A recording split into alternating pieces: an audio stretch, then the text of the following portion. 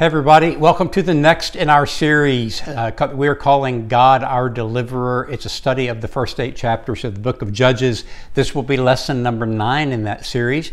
We will be in Judges chapter 7, verses 1 through 11 today. So you're going to need your Bibles or your Bible app open to Judges 1, 7 through 11. And there is also a listening guide for this lesson. You'll find that listening guide the same place you found this video. Just scroll down and click on the link to that PDF download it to your computer, print it out. There are some blanks to fill in while I teach, but more importantly, there are some discussion questions there for you and your small group to go through together after the lesson. So before we jump into the lesson today, let's pray, shall we?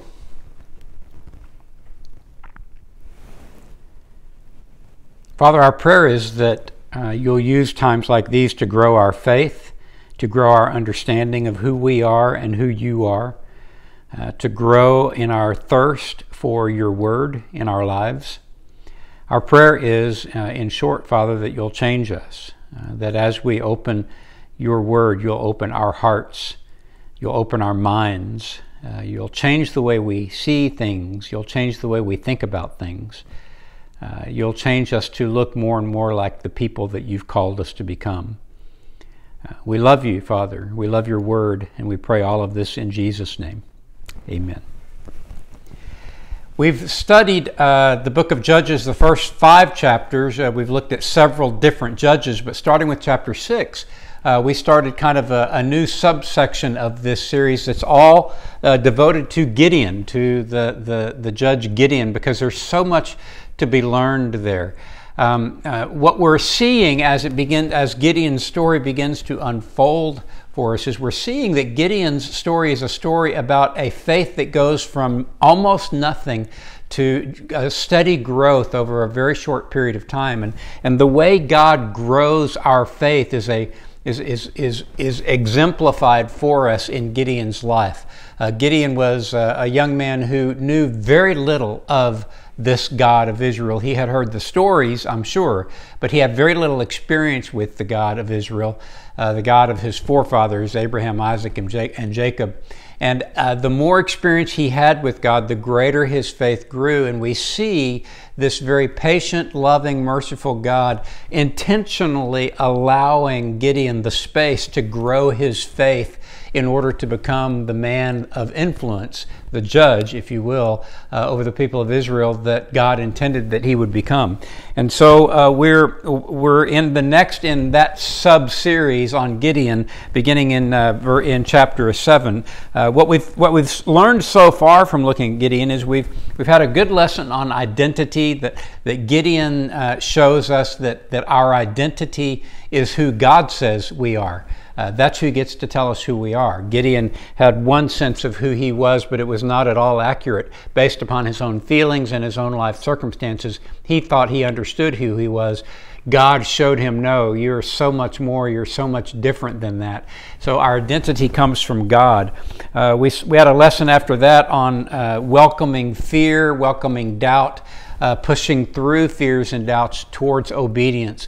Uh, Gideon is a, is, a, is a person who had plenty of fears and plenty of doubts, and that did not disqualify him from being used by God in huge ways. And we're going to even see more of those fears and doubts in today's lesson. We had a lesson last week on uh, is it okay to ask God for a sign? And we, we talked about the circumstances and conditions under which maybe it might be okay to ask God for a sign or when it might not be okay to ask God for a sign. But the, we ended last week's lesson with this, with this reality that God Himself is a patient and merciful God and uh, that He will give us room to ask questions. He will give us room even for doubts and fears um, as long as we as long as we hold before Him a faith that is malleable, a faith that is soft enough to be grown, uh, he, he, can work with that. And so, uh, uh, after last week's lesson, we, we come into today's lesson um, with a with a, a, lesson about power, a lesson about uh, how does God use His people to impact the world around us, and, and more specifically, what power sources does God use in order to accomplish His purposes and His ways in the world? Obviously, God is sovereign. He can use any power sources He wants to use. But maybe a better way to ask the question is Does God rely on the same power sources that we tend to rely on? Uh, in, in, order to, to, in order to uh, affect change in his in this world? Does he rely on political powers? Does he rely on? Does he need uh, military power? Does he need social power? Does he need economic power? All those forms of power that we are accustomed to in our culture for getting things done uh, is that the same power source that God uses when He calls us to work with Him? Um, I'm reminded in Isaiah chapter 55, a pretty resounding answer to that question is no. Uh, in Isaiah chapter 55, verse 8, it says, For my thoughts are not your thoughts, neither are your ways my ways, declares the Lord. Uh, for as the heavens are higher than the earth, so are my ways higher than your ways and my thoughts than your thoughts. And so we are reminded many times in Scripture that God does things differently than we would ordinarily do them. Uh, in the ways of our world. He, he tells us, uh, the Apostle Paul tells us in, in uh, Romans, uh, that we should not do things the way the world does things. We should not be conformed to the ways of the world, but rather we should be transformed by the renewing of our minds. And so that God wants to use a different power source than any of the power sources we are accustomed to using uh, is what today's lesson really uh, leans into. The world's kinds of power are. Uh, are perhaps best represented if you want to kind of tick off a list, uh, check off a list of the world's power sources. Uh, it's no better exemplified than in our current culture wars uh, each side trying to win the culture for their side, and and they use uh, physical means, they use rioting, they use um, uh, uh, political powers, and try to win elections in order to win the culture wars. They they use social powers, trying to trying to guilt people into doing what what we want or they want them to do. Uh, in our culture wars, we use virtually every form of power known to man in order to win that war. And what God would say to us about those power sources is, I don't need any of those power sources in order to accomplish what I want to do. And we'll see that in, in today's lesson. The bottom line is, God shows very little interest in the forms of power that we are inclined to use in this world. He has his own power source. And so we have the same scene as we as we had last week. It's the exact same scene. God has called out Gideon. Gideon has amassed an army in order to help Israel get rid of uh, being under the thumb of the Midianites, uh, the, the Amalekites, the people from the east that swarm in like a swarm of locusts every time the Israel, uh, Israelites would plant their crops. The, the Midianites would swarm in, steal all their crops, steal all their stuff, and then go away. And uh, it was very much like a, we've talked about it here, very much like a schoolyard bully stealing your lunch money every single day in that regard. And so God has raised up Gideon uh, in order to uh, amass an army to fight and defeat. Uh, to defeat these Midianites. And so today we're gonna we're gonna pick up right where we left off last week, where that army is now amassed, and both of the armies are standing, looking at each other um, over the course of some time, trying to decide how do we want to make this strategy work, and that's where we are picking up today. In uh, chapter seven, beginning with verse one, here's what it sounds like. Then Jerubbaal, that is Gideon, and all the people who were with him rose early and encamped beside the spring of Harod. And the camp of Midian was north of them by the hill of Moreh in the valley. So the valley of Jezreel is literally filled with an, uh, so many soldiers from the Midianites and the Amalekites, they could not even be counted. It was like uh, the scripture describes it as like sands on the seashore. Uh, the Lord said to Gideon, The people with you are too many for me to give the Midianites into their hand, lest Israel boast over me, saying, My own hand has saved me. Now therefore proclaim in the ears of the people, saying, Whoever is fearful and trembling, let him return home and hurry away from Mount Gilead. Then 22,000 of the people returned, and only 10,000 remained. So we start with 32,000 people, which is much, much smaller than the Midianite army.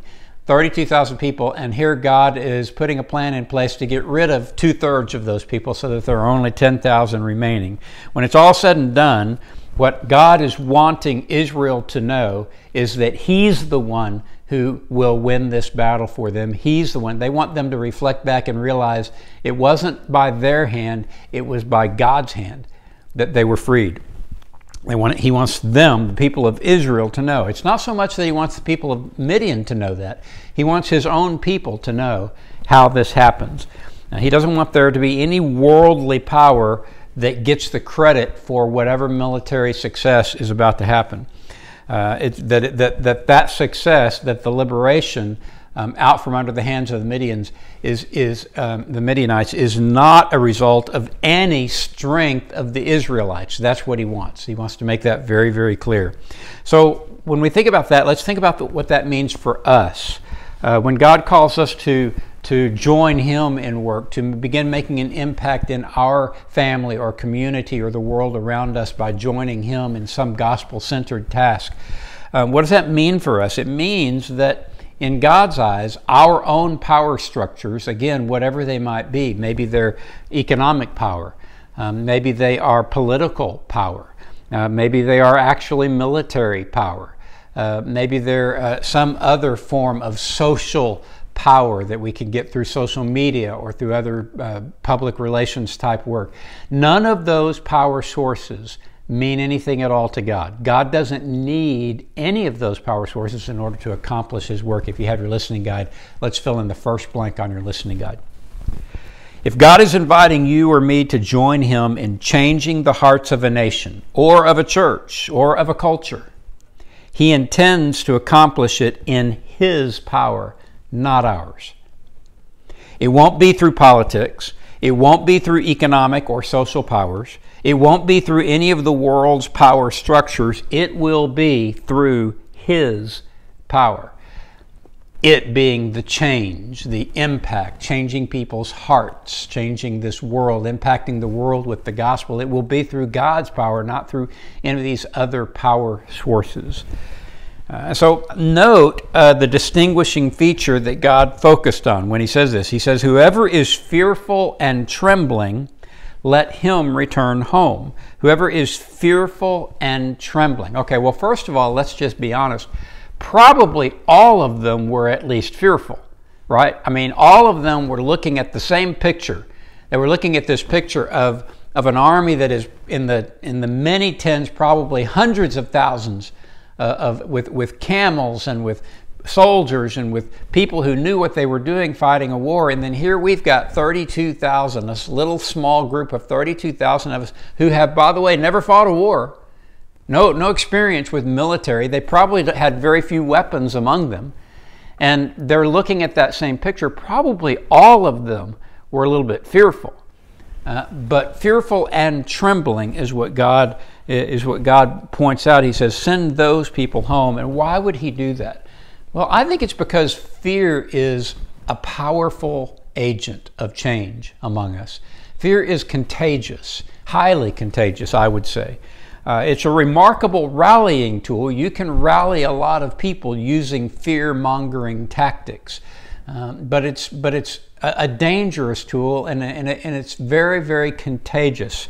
Um, I'm reminded of the story of uh, the people of Israel coming into the promised land. The first time they get up to the gates of the promised land and they send their 12 spies out into that promised land, and those 12 spies look around at everything, and 10 of the 12 spies, by the time they get back to report, 10 of them have all gotten together and decided we can't do this we're scared. These people are huge. These Amalekites are big people.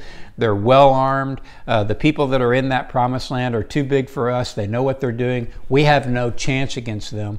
And 10 of the 12 spies uh, reported back to the people. And as those murmurings started going through the people of Israel, by the time it was time to actually stand up and do something, everyone had decided we can't do this. The fear was contagious. Um, I think that there's a lot of fear mongering that happens in our own culture wars today, in our own culture today.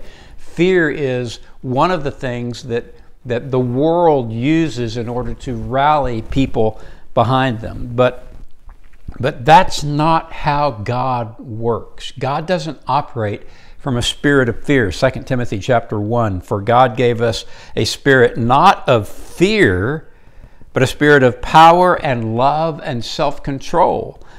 Uh, listen, when you look at the culture wars that are going on in our culture today, they are they are powered almost entirely by fear mongering. It, it is almost all about you've got to get up and scream and do something about this, or else they might win this culture war. And if they win this culture war, then our country is just going down the toilets. And, and, and that's the kind of fear mongering that the culture wars are being fought with today. But that's not God. For God's people, for Christians, if what we're operating out of is some kind of a sense of fear, we can just rest assured that is not from God. If you have your listening guide, let's fill in the second statement on your listening guide. The world fuels its culture wars with fear of what happens if they win. God does not, nor should his people. Christian, whatever fear is fueling your position, it did not come from God. Take a step back and rethink. If fear of what happens if they win is what's fueling your position and, you are becoming a social social wars i mean a culture war uh, soldier in order to fight the culture wars and it's all about we got to do this eh, to prevent them from winning then that's not a godly motive and you should stop and rethink. But God wasn't finished calling this army. He'd called it from 32,000 down to 10,000, and he was not at all finished. There was still more to come. Verse 4 And the Lord said to Gideon, The people are still too many. Take them down to the water, and I will test them for you there. And any one of whom I say to you, This one shall go with you, shall go with you. And any one of whom I say to you, This one shall not go with you, shall not go. So he brought the people down to the water. And the Lord said to Gideon, Everyone who laps the water with his tongue as a dog laps, you shall set by himself. Likewise, everyone who kneels down to drink. And the number of those who lapped, putting their hands up to their mouth, was 300 men. And the Lord said to Gideon, With the 300 men who lapped, I will save you and give the Midianites into your hand. Let all the others go, every man to his home. So the people took provisions in their hands and their trumpets, and he sent all the rest of Israel, every man to his tent, but retained the 300 men, and the camp of Midian was below him in the valley. More culling to do here. What God, God says, this is still way too many people. Let's get it down to a much smaller number. And there are two categories of people. God says, take them down to the river, let them drink, and watch how they drink. And he placed the people in two categories. There were the people who cupped the water in their hands and brought the water up to their face to drink. And then there are the people who knelt down and actually put their head down in the water and drank. And what God said is, for those who cupped the water in their hands and brought it up to their face, I'll take those. There are only 300 of them. The other 9,700 of them knelt down to drink, and they all went home. Now, let me just stop here and say uh, I am not comfortable teaching that there is any particular reason for this distinction that had anything at all to do with being a good soldier. I've heard those theories. I've heard teachers say uh, that the people who brought the water up to their hands were much more alert, and that's the way a good soldier should be. And the people who knelt down and put their face down in the water were not alert enough, and therefore they're not good soldiers. I get that, and there may be truth to that. The bottom line, though, is being a good soldier in that regard really had very little, if anything at all, to do with the way this war was going to be fought and won. And so I'm just not comfortable saying that, that this distinction had anything at all to do with being a good soldier. It just had to do with getting the number down to 300. I mean, uh, it really was about God wanting to make very, very certain in the minds of the Israelites that He was the one who was going to win this war for them not them. Uh, the, that seems to be the point. He's just not interested, God is not interested in trying to win this war with numbers. Numbers are not what's going to save the day here, and so it was not going to be about numbers.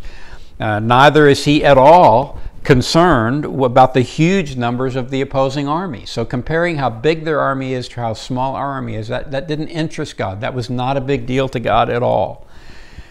Um, so the question this raises is well, then do numbers matter to God? I mean, we, we see a lot of examples in Scripture where uh, the numbers don't seem to be all that important to Him. And so, do numbers matter to God? Um, I know that when, when I've had these conversations with my dad in, uh, in the past with regard to how we count noses in the church and how we are always counting how many people are there and how we're always counting dollars and budgets and how important that is to us. And, and, and we've, we've talked uh, with one another about and I've raised the question is it really that important? My dad was always real quick to, to say to me, you know, don't forget there's an entire book in the Bible that's called Numbers. Um, and that was his way of saying numbers matter to God, just not for any of the reasons that they matter to us. So I don't think that numbers matter to God as a measure of power. And that's the way we tend to use um, quantifying armies and quantifying um, money and quantifying. It's always it's always used as a, me- a measure of power, and I don't think that that God it cares about numbers as a measure of power. I'm reminded that Jesus changed the world, the world, by really pouring into 12 men. 12 men. And with those 12 men, which became 11 by the time it was time for them to do the work, they went out and changed the world. And so numbers are not uh, an obstacle by any means to the power of God. Uh, at the end of Jesus' three full years of ministry, when Jesus came and, and, and did his ministry for three years, at the end of those three years, he had all of about 120 disciples, all of about 120 followers following him. Even though there were crowds of thousands who were amazed at what he did, he, he ended up with only about 120 followers when it was all said and done before he left this earth. And by our standards today, at least in the American church, that's nothing, right? That's a small church by, by the American church standards. Uh, and, and, so uh, numbers don't seem to be uh, nearly as important a measurement for God, a measurement of power, as they, are to us. Now, if you have your listening guide, let's fill in the, the next blank on your listening guide. Even in a culture where little has meaning unless it can somehow be quantified or measured, God continues to have a global impact by turning individual lives inside out, one at a time. Individual lives, one at a time, inside out. His ways are not our ways. And so God continues uh, to press into this, this, uh, this this process of growing Gideon's faith. He continues to, to show Gideon uh, the way this is going to work, and he continues to grow Gideon's faith. And the last thing we have in our lesson today is, again, God giving even more assurance to Gideon that he's with him in this. Verse 9 That same night the Lord said to him, Arise, go down against the camp, for I have given it into your hand. But if you are afraid to go down, go down to the camp with Purah your servant and you shall hear what they say, and afterward your hands shall be strengthened to go down against the camp. And then he went down with Purah his servant to the outposts of the armed men who were in the camp. And we'll stop there and we'll pick the rest of that story up next week. But what we see here is more of how God is actually growing Gideon up into this task. He's growing his faith. He went from, from a, a, a, probable teenage boy who was nobody in a nobody family, in a nobody clan, in the smallest of all the tribes. He went from that, hiding in a, in a wine press so that the bad guys don't find him, the schoolyard bully doesn't find him, and he's growing him He's growing his faith and he's growing his understanding of who he is and who God is. And that's the key, right? That's the key. The key isn't how big is my faith. The key is how malleable is my faith, how soft is my heart, and how willing am I to have God grow my faith. That's what matters the most to God. God doesn't, God doesn't even wait in this instance, He doesn't even wait for Gideon to ask for assurance. Do it one more time. Tell me one more time. He didn't even wait for that. God just says to Gideon, Look, I know. I already know where you're coming from. I already know what you're wondering. And so I'm going to give you yet one more way to find some assurance. He knows that about us as well. God knows our hearts. He knows our doubts. He knows our fears. He knows our struggles.